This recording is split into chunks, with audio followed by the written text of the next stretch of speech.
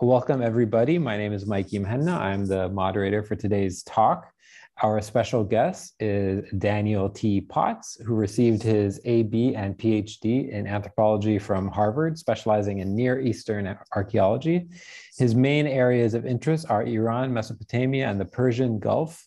And as a field of archaeologist, he has conducted excavations in Iran and Saudi Arabia, Turkey, and the United Arab Emirates. He's a founding editor in chief of the Arabian Archaeology uh, and Epi uh, Epigraphy. He's a corresponding member of the German Archaeological Institute and ISMEO. Dan, welcome to afikra. Thank you. Thanks very much for having me. so, you know, when I think of archaeology, I think of, um, you know, a sort of Indiana Jones type character. Um, and especially archaeology in this type of um, in this region. I'm curious, what does archaeology mean in 2022? What does that actually mean um, for somebody who's in the field? Well, I suppose you know the the Indiana Jones part is, is usually associated with the excavation, um, and a kind of adventure, you could say. And there's, you know, there's still plenty of excavation that goes on. But I think the difference from even, you know, 50 years ago or 40 years ago is that there's a, a much more um, attention paid to the analysis of the finds, particularly scientific analysis. And so you the, the interpretation first the analysis and then the interpretation is every bit as important as the excavation. So the excavation is is you know it's a kind of the tip of the iceberg really. And um, you know there there are people who love excavation and aren't particularly of a scholarly bent uh, would rather have the fun and sort of excitement of discovering new things, um, being in foreign places, but they don't have the scholarly interest necessarily to put the new material, new discoveries together in a synthetic way and really interpret it and, and show what its meaning is. Uh, and then there are other people who are, you know, um, you've probably all heard the term armchair archaeologists who really kind of look at what has been published by other people or what's in museums and maybe write a lot about things uh, without doing a lot of fieldwork themselves. So there's a kind of a spectrum of, of what of personalities, yeah, say uh, who who get involved in archaeology. Yeah. What are? Let me ask you a question. What is at stake for your the work that you're doing? Um, what is, from your perspective, what are the stakes? Well, you know, I I mean, I I think for me, yeah. um, human history uh, and what we've done before, uh, the good and the bad and the ugly, are just as important as what's going on today.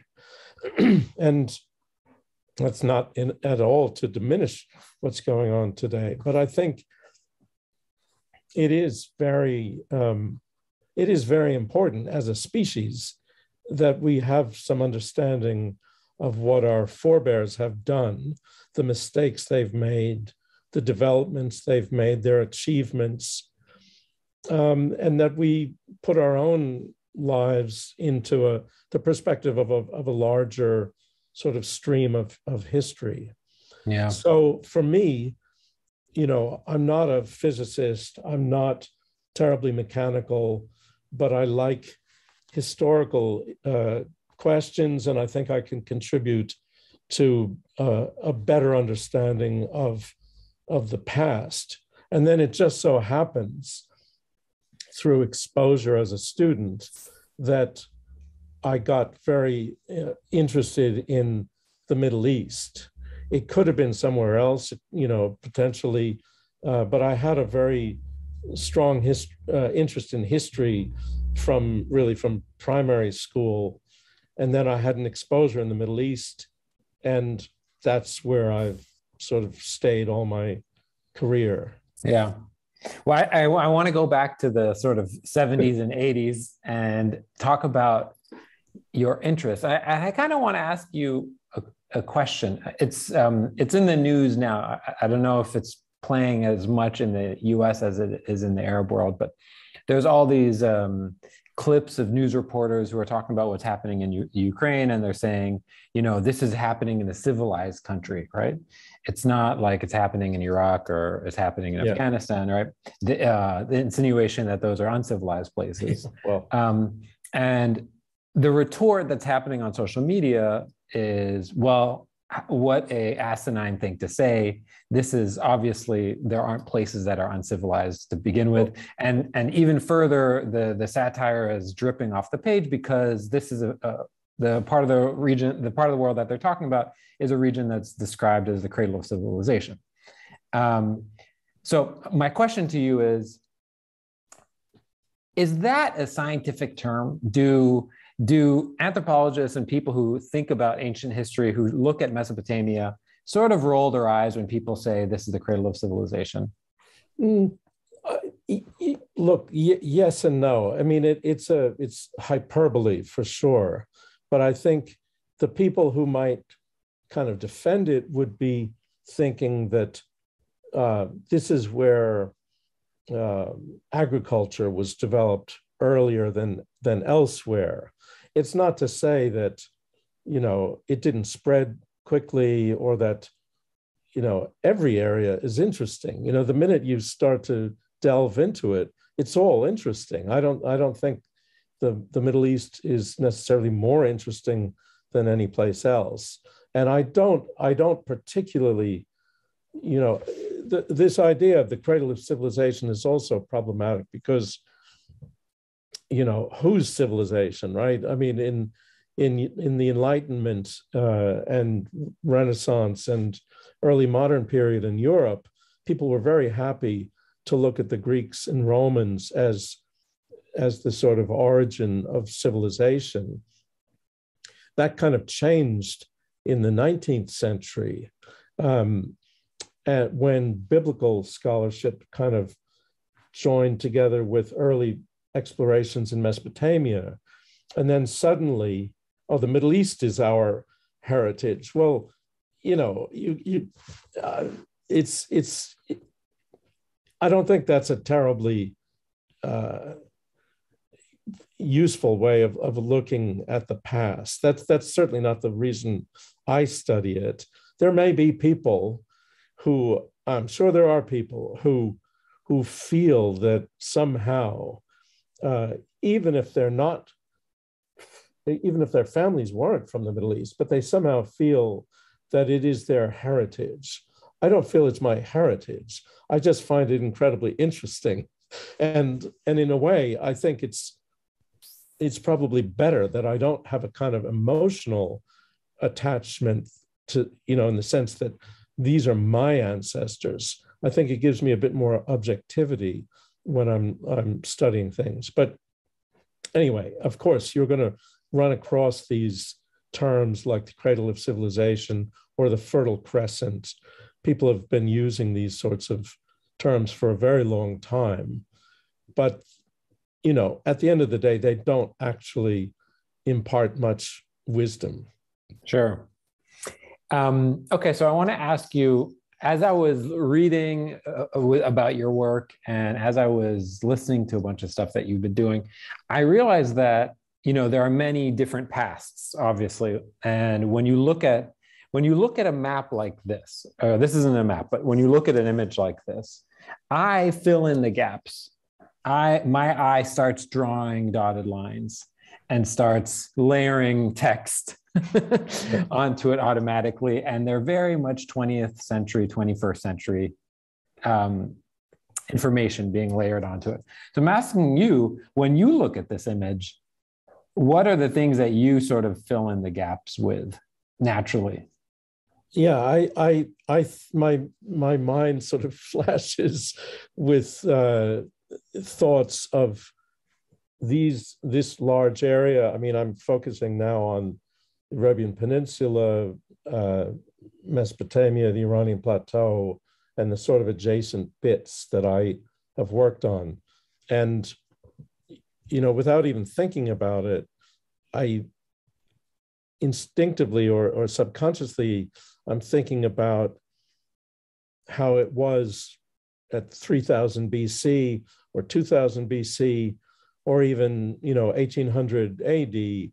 Um, I, I have a definitely a, a kind of uh, chronological way of, of, of ordering things. And and also within that uh, line i have a a sense of the very different um, regional boundaries or uh, borders that existed as states and empires changed through time so areas that were once under one empire and now are culturally a very different sort of situation. I, I, I think of those things when I look at this, and I yeah. I like the fact that there are no uh, boundaries on this. I mean, this is a like a satellite image of the world, but I like the fact that you can look at the area without the boundaries because the boundaries are. I'm, I'm constantly telling my students this.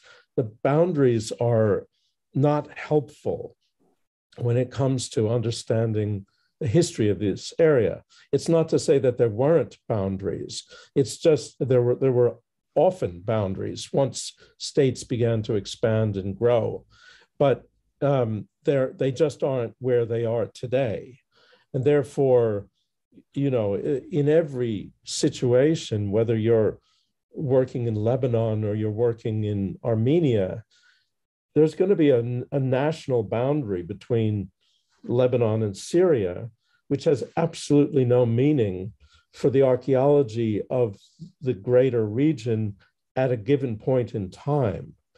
Uh, and, you know, this means it's very important not to get stuck on the national literature of, of, of a topic, which is very easy to do also because of languages. So you might work on, I might work on something that's, you know, kind of based in northwestern Iran or let's say, or northern Iraq. And just, you know, a few kilometers further north, there's related material, related sites, but uh-oh, suddenly there's a national boundary and the, lang- the, the language of the archaeological publications from the other side may be Russian or maybe Armenian, you know, and or maybe Turkish, and then uh, you that sort of leads to people putting down the blinkers and saying, right, well, I'm just going to deal with this area, which is an area that I can kind of wrap my head around and in which I can uh, read the literature. But yeah. uh, that's that's totally artificial. That's a completely artificial product of 19th, 20th century bound uh, national borders. So this is getting to a point that I wanted to talk about later, but maybe I'll talk about this now because as a we as a current day quest to understand uh, you know history um, bumps up against current day political agendas how do you maneuver those things? Uh, how do you as a scholar maneuver the natural desire to co-opt um, uh, co-op sort of historical narratives to reinforce uh, modern day contemporary borders and contemporary sort of national agendas? Yeah well i, that's, I, I think there's a big difference uh, and this is why I, I said before that i hope i have a certain degree of objectivity even though objectivity is a very you know yeah. relative uh, relative concept but i i think you know as i am not uh, from any of the countries that I, I've worked on. Uh, and these borders don't mean really a, a, lot to me, except, you know, in real practical terms, they may hinder me if I'm trying to do something. But I think as far as understanding what was going on, um, it's very important not to get hung up on them. And it's also very important not to allow I mean, you know, there's a limit to which we can influence current political dialogue. But to the extent that we can give some sort of truths to historical reconstruction, we can push back against conceptions that are utterly anachronistic. You know, yeah. I mean, there there are, um, for example, you know, there there are scholars who have suggested Turkish etymologies for names that are within uh, that that appear, let's say, in cuneiform sources uh, from Eastern Turkey, Armenia, Western Iran, where we had a kingdom in the Iron Age known as Urartu, right? Well, there were no Turkic speakers within, you know, 3,000 miles, right? But for modern political advantages, it people have cynically used uh, distorted ancient evidence uh, to say, "Oh no, no, no, this is Turkish. We we were always here." Well, no, sorry, you weren't always there. You were once upon a time on the borders of Western China, uh, in Inner Asia, and you migrated, and the Seljuks came into Iran, and the Seljuks kept on going into Turkey, right? So, you know, I'm not, I have no dog in the fight. You know, it's not, I couldn't care less. All I care about actually is the historical accuracy. And if yeah. somebody could tell me, show me that, yes, this group was there, fine, fine. But, sure. you know, if the evidence doesn't show that, then I'm I'm I'm not interested in pursuing a false narrative like that. Let me ask you a question, and this may sound like a strange question to ask, but do we know more about the past today than we did 200 years ago or 300 years ago? Oh yeah. Oh, and how? Yeah, absolutely. Yeah. Now it's a combination of the fact that you know two two or three hundred years ago um, by by by say by 1700 uh, or 1800 almost all of the literary greek and latin sources that uh, we know today uh, were known right so they knew a lot but of course they didn't have the archaeology and they didn't have the epigraphic side they didn't have the inscriptions that have been found or the cuneiform tablets that have been found subsequent to the mid 19th century as excavations really sort of took off. So, you know, there's no question that we know far, far more. But what is interesting, though, is that, I mean, there are many things that are interesting that uh, um, when I look at the these maps, mm-hmm. particularly the the, the um, the one which is based on Ptolemy's map there on the left. Yeah. Um, the scholars of the Enlightenment, or the even the Middle Ages and the Renaissance, but certainly in the Enlightenment and the early modern period, were really tireless about scouring every single source they could.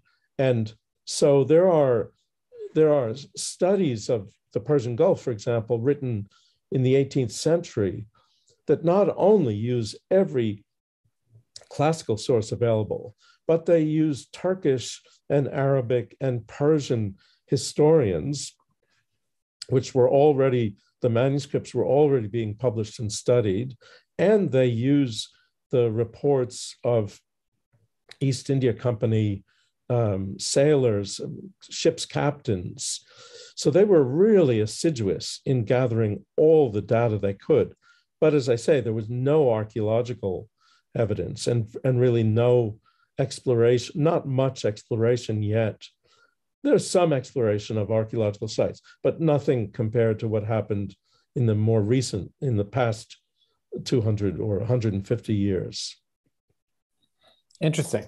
Um, because the reason why I asked that question is because as I was reading about your work, um, I saw this list of names.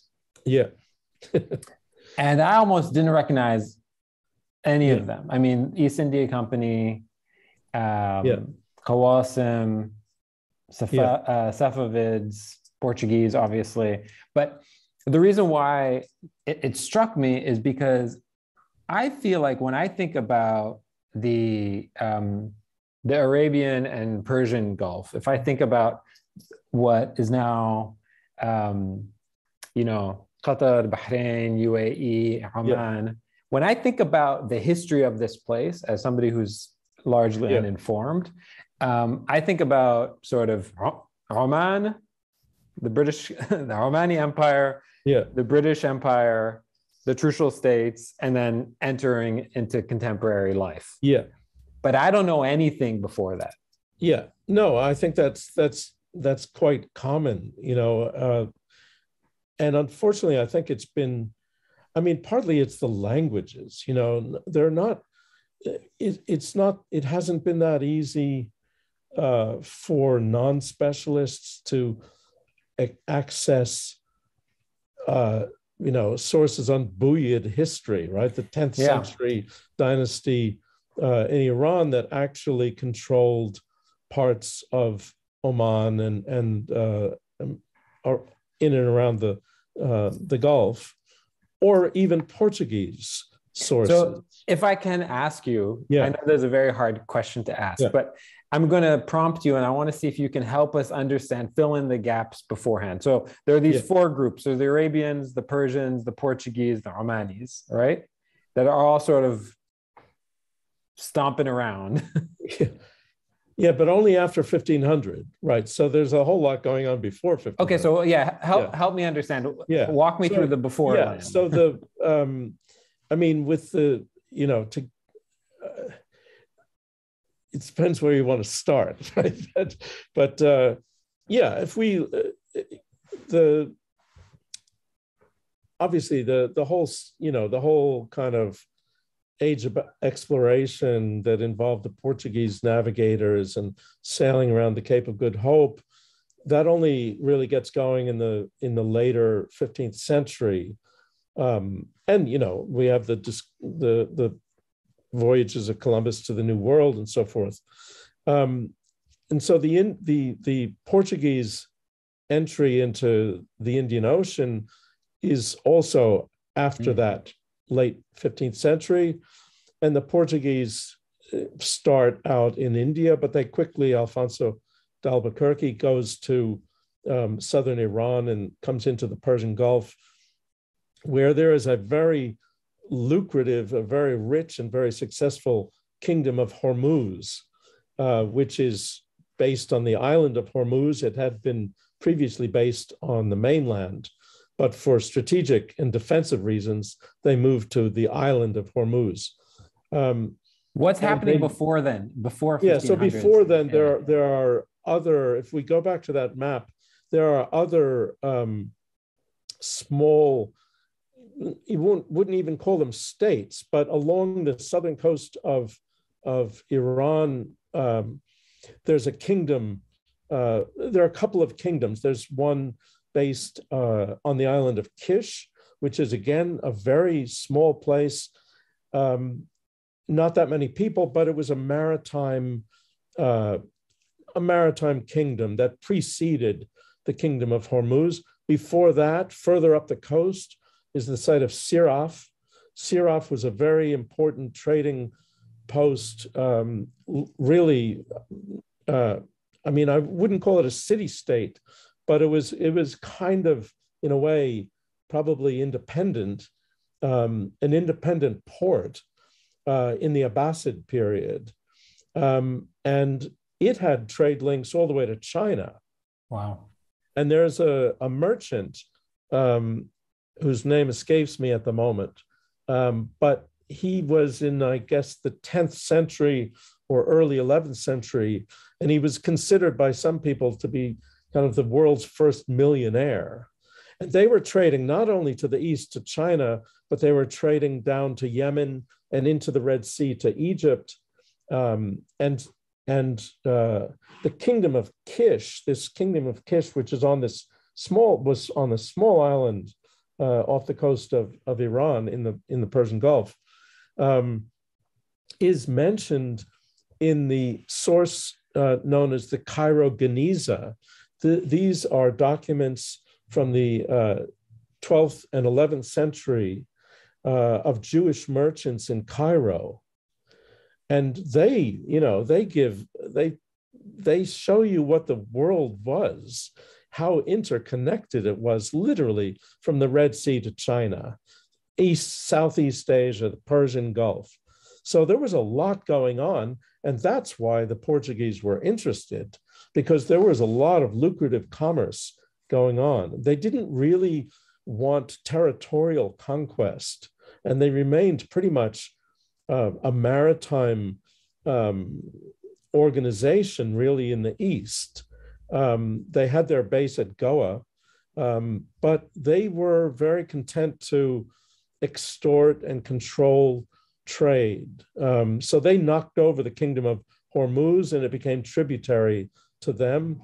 And then the Ottomans, after the conquest of Iraq, which was about, I think, 1541, they appear in the Persian Gulf.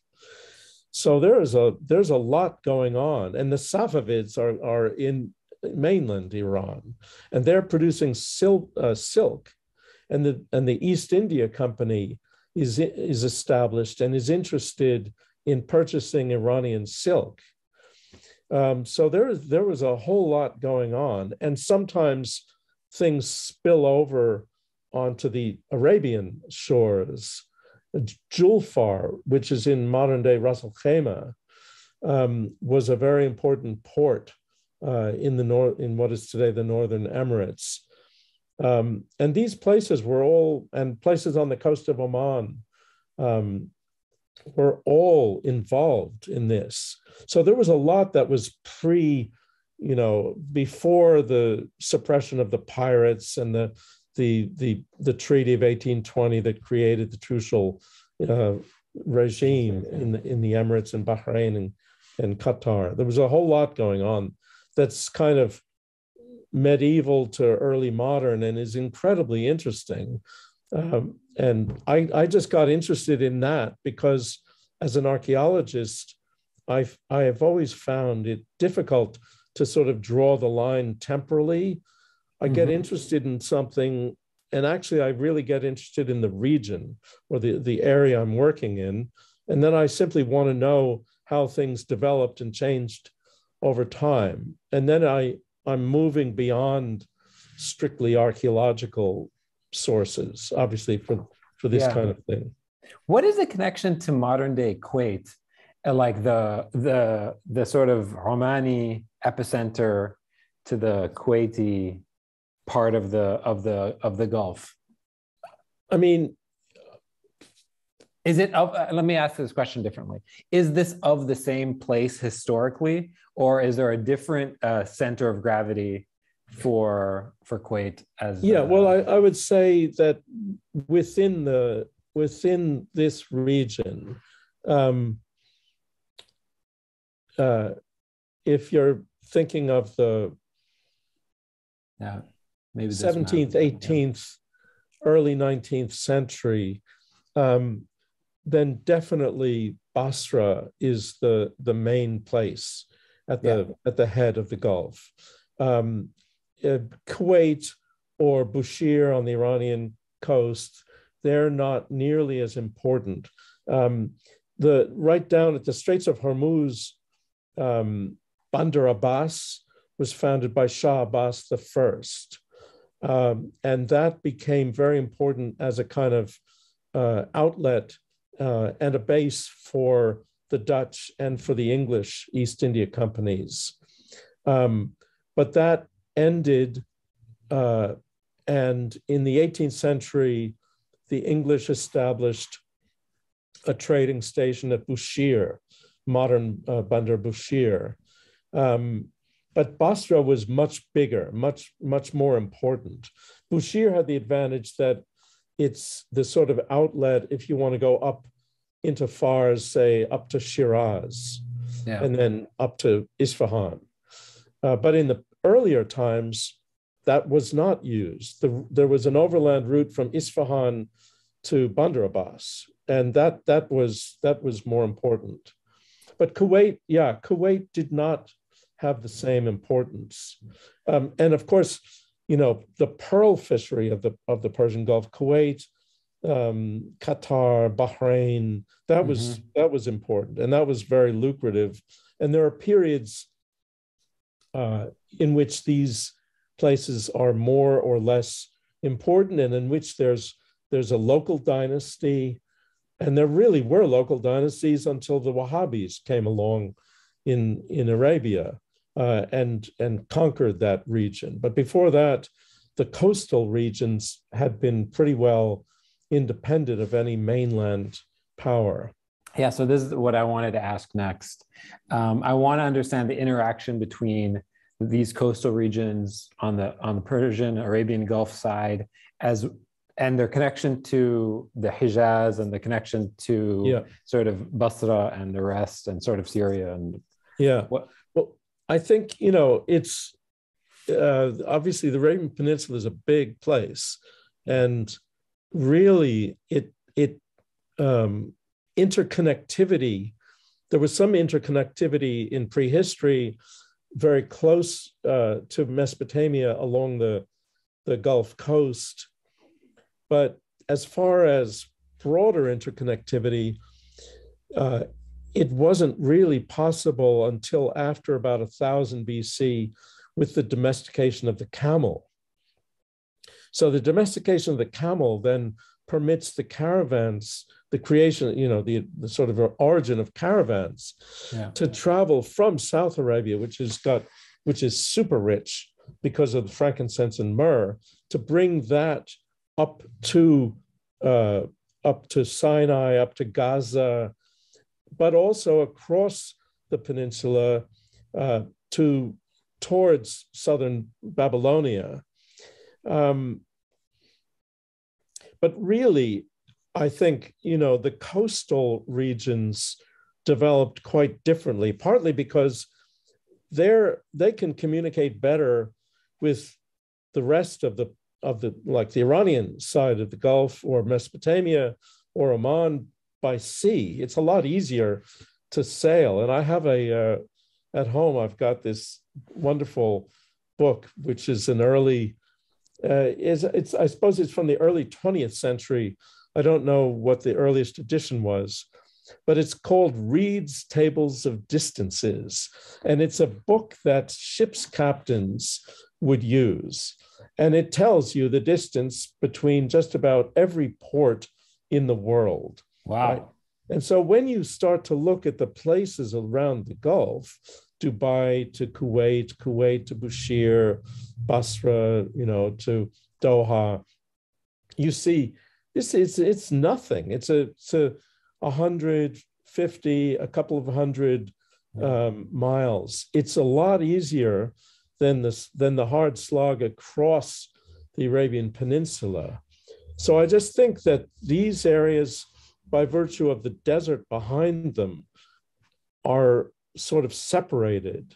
Um, and that's very much the case with Oman, that Oman's orientation culturally, you know, is the Western Indian Ocean. And that's hence the development of the Omani Empire in Zanzibar. So, you know, and there, I always remember 40 years ago, an archaeologist who was working in Oman um, said to me, apropos links between the Harappan civilization of, of the Indus Valley in the third millennium BC and Oman and, and, the, and the Gulf region, he said, you know, nowadays, uh, a rich Omani goes to Mumbai. That's that's what you know. He's thinking. If I'm going to go somewhere, that's where I'll go. And it, it's it's all part of the that very old heritage of seafaring in the in the Indian Ocean. So their orientation is not to continental Arabia at all. It's not even that much to South Arabia, um, uh, southwestern Arabia, Yemen. It's very much Indian Ocean oriented. Yeah. And then Yemen is very oriented also to the Red Sea, to yeah. the Horn of Africa, um, and you know, so it's it's uh, to India, um, it's you know once you get down into this part of the world, which I've you know done a fair bit of work on, it, it's it's different than the northern Middle East. It's really more oriented towards Asia and Africa, you could say. So I guess let me bring us back to today. Um, what do we stand to gain, you know, in 2022 um, as we as we develop a deeper understanding and a more sort of nuanced understanding of prehistory and sort of um, and uh, of the last 2000 3000 years of the region um, what you know maybe saying it as crudely as possible what's what's the point of understanding this stuff on a on improving our our the way we live today and the way we live tomorrow? Well i don't know if it can improve the way we live today although you know it is very by avoiding the mistakes of yesterday maybe. Well it's it's certainly useful to i mean on on some practical levels it is absolutely useful to know about how you know people approached problems like irrigation. Um, that's not to say that the that the engineers of today or the the planners uh, government planners are particularly uh, particularly care about that. But um, absolutely the the you know the environment of course with climate change things are getting worse. I was going to say things are more or less the same. They had been more or less the same for the last couple thousand years with you know slight variations. And so things like date palm cultivation or irrigation or fishing for that matter all those sorts of industries if if you're wondering you know can it be done here? How would we need what would we need to do it? If you can look back to the past and see whether it was done or or how it was done uh, and learn something. But as i say i don't think you know government planners are particularly studying what comes out of, of archaeological field work but you know it's it, it's what I don't I, I don't want to see is is the discoveries being that we make being used for crude nationalist purposes.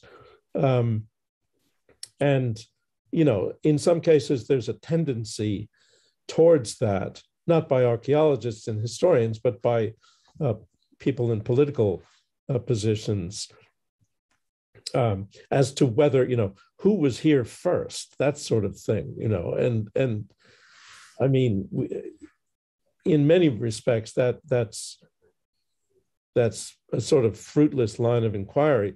Although you know we can show in certain periods how boundaries or borders have changed, yeah. and that's also useful um, to keep in mind that you know, if if one government says, but this was always part of whatever, Russia, Ukraine, this and that, you know, you can often say, well, actually, no, that was conquered in in you know this period, and it, it wasn't always necessarily this way. Yeah. Um, but you know, I I don't I don't have any delusions about the the use of of what I do in the modern world. I think, you know, partly it, it's good enough that a lot of people are interested in the human past.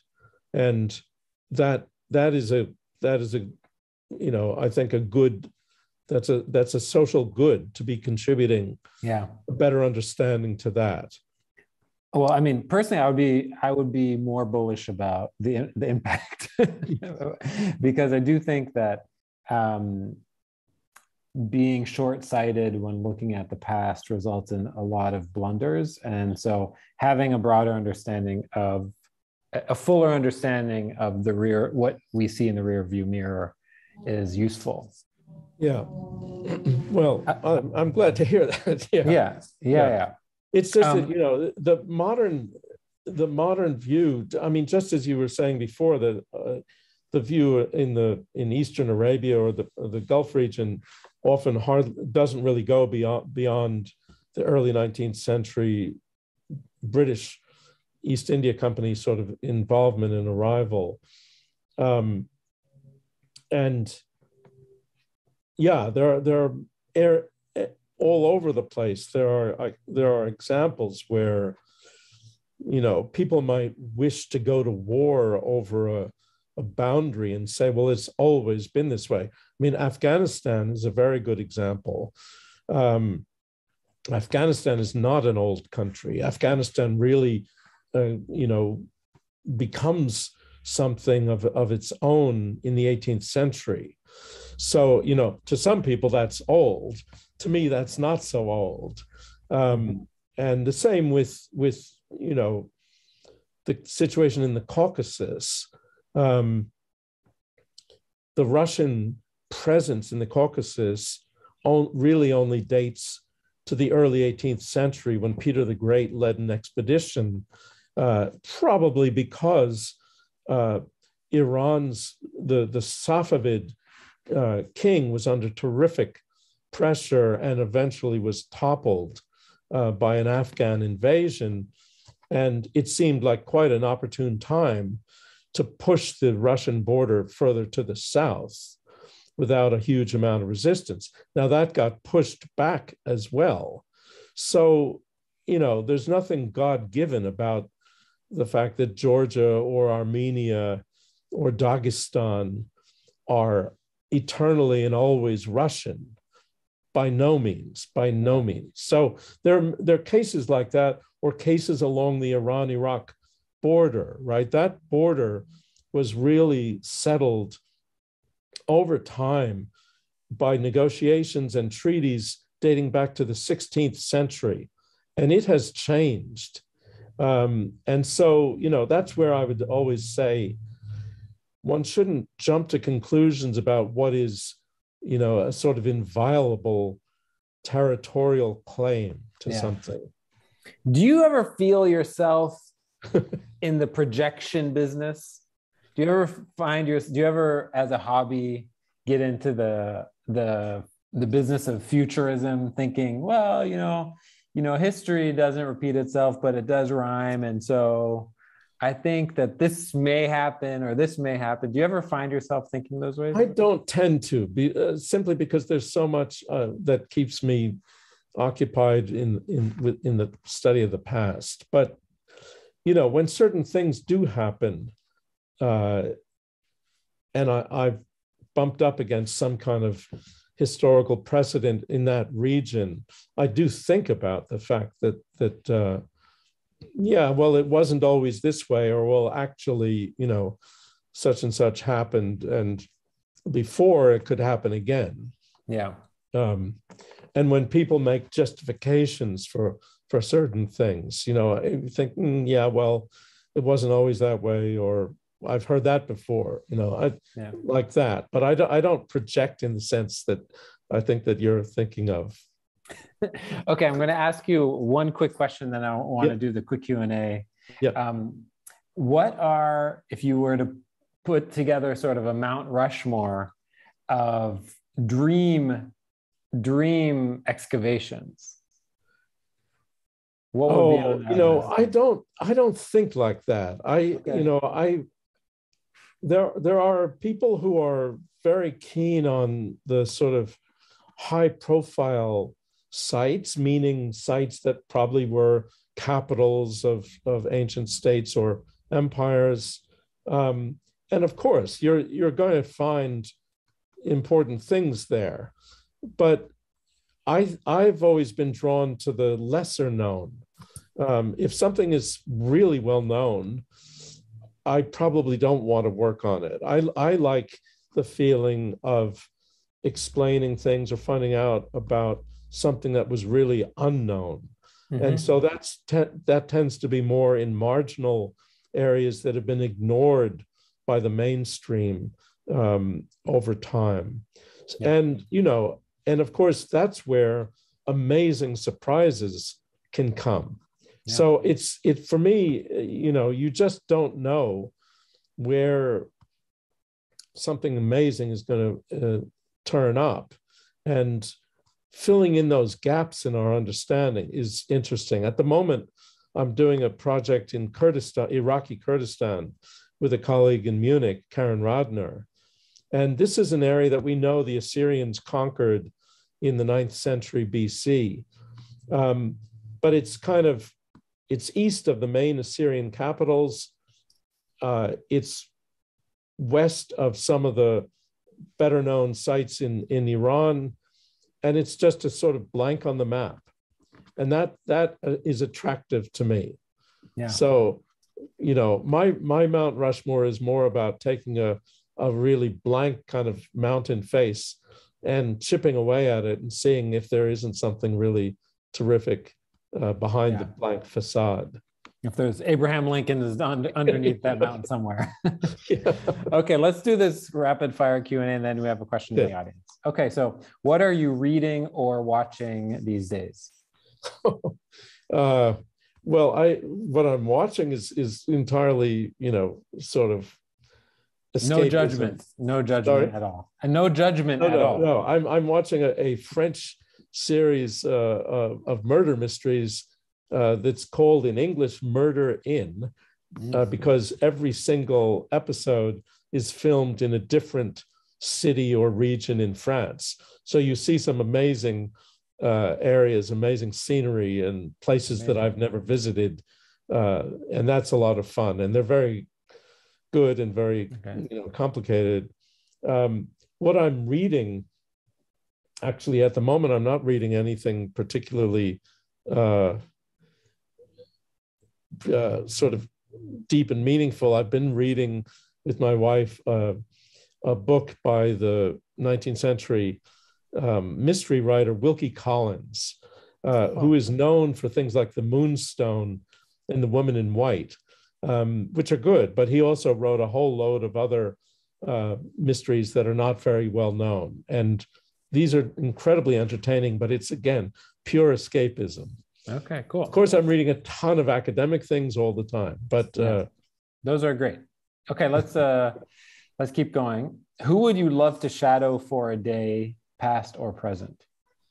Oh, that is that is not so easy. Uh, but um, I mean, I, you see, one one thing about me is that I don't have huge. I mean, I have respect for certain people, Abraham Lincoln, you know, sure. uh, but I don't. When I look at the the past that I study, although uh, you know there are endless numbers of of, of kings and queens uh, and important people, I don't I don't study them because I admire them. I study them because they're there in that period that I'm working on and they're a, a part of the history of that period.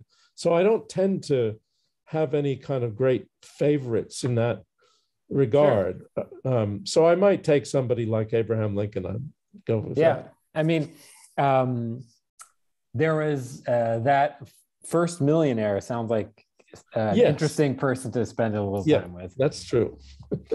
um, what do people most misunderstand about your work? Oh, I think, you know, I mean, if if I, you know, being an academic, I'm not a sort of superstar, right? I, but of course, if I publish a book, it gets reviewed, you know, and a, a bit like actors, you know, who say, "I never read reviews," uh, because it's it's usually you know difficult. Um, but if I if I think of some of the things that have been said in reviews, uh, I I suppose there's a kind of um, there's a feeling that in the 21st century that unless you're theoretical in a way, uh, in an explicit way, your work is just sort of pedestrian. Mm. And I would say that there's an awful lot of, um, I think you can, you, you have to do a lot of pedestrian work in order to put together such a mass of data that I am always dealing with. And a lot of that is just very hard slog and sorting things out. There's nothing much theoretical about that, but it, it's not something that everybody can do either, because it, it you tend to be dealing with many, many, I mean, hundreds and thousands of pieces of information, and organizing it in such a way that it becomes meaningful is not something everybody can do. So I'd say that's something that I think maybe is underappreciated. Interesting. Very, very interesting. Um, okay, last one is outside of your profession, whose work are you inspired by? Um, I mean, how far outside my profession are you? Miles Davis. Uh, oh yeah. Charlie okay. Chaplin. Well, yeah. I mean, there there are. Uh,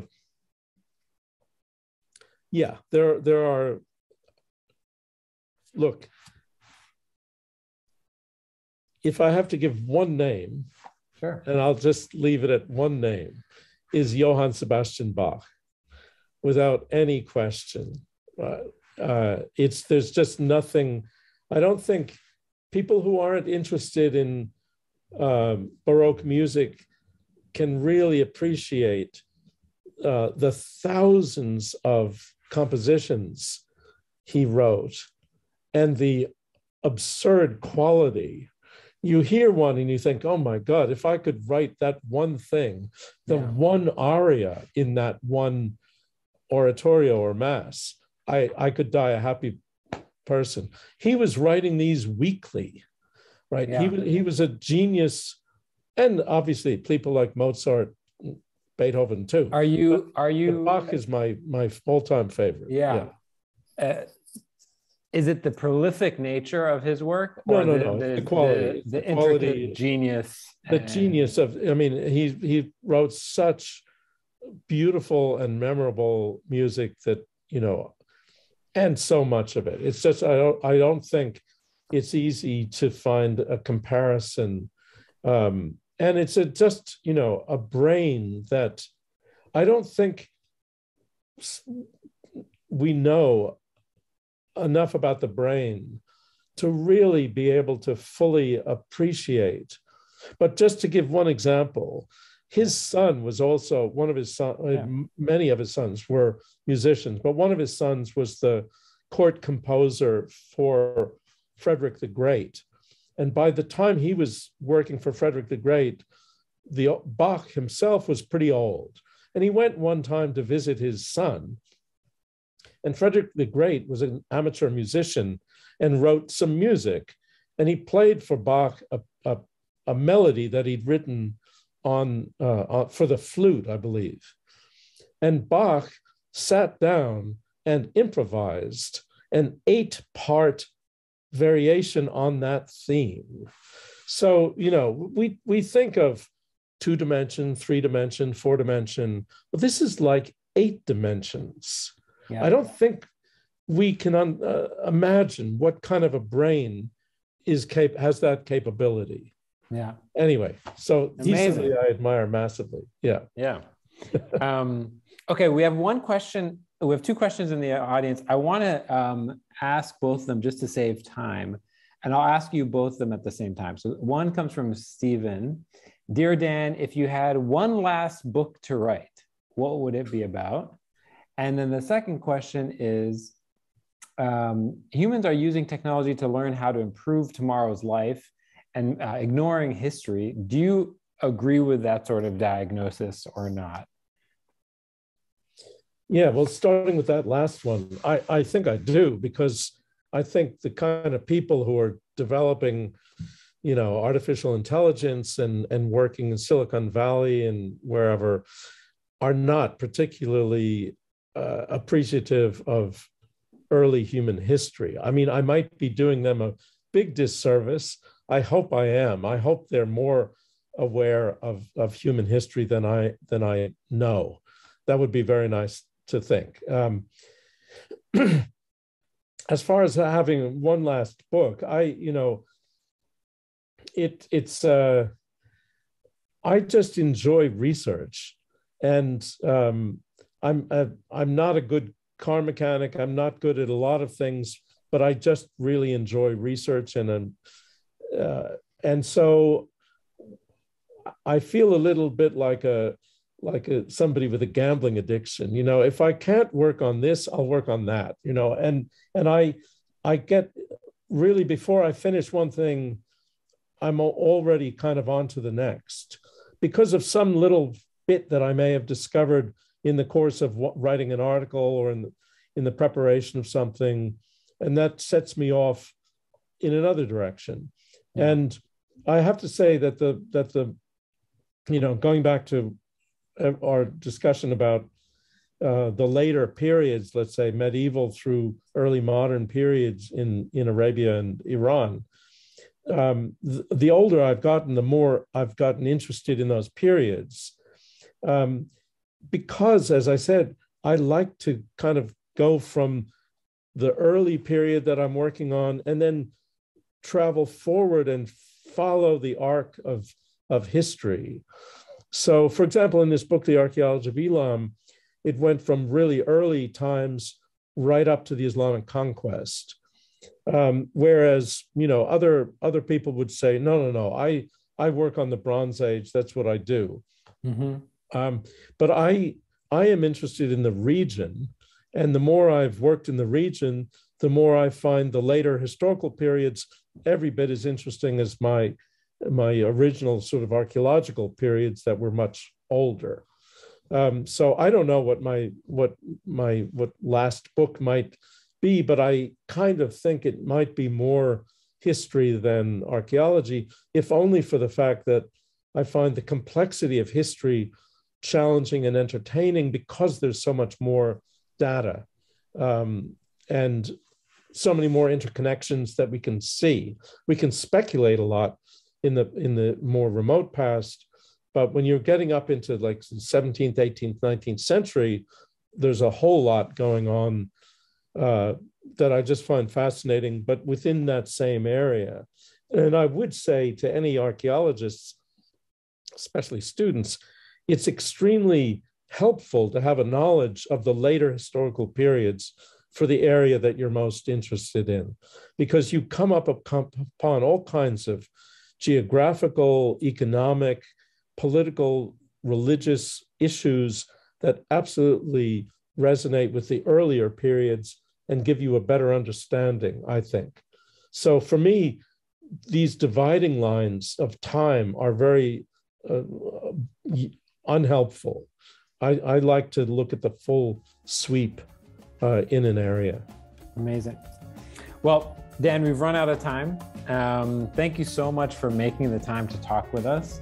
You're very uh, welcome. for uh, for broad brushing through 3,000 years as with ease. um, this conversation will go up on our YouTube channel uh, tomorrow and up on our podcast. If you know anyone who missed it and would like to watch it, please feel free to share uh, widely and subscribe and all that good stuff. Dan, thanks so much. Thanks a lot, Mikey. Bye bye. Bye bye, everybody.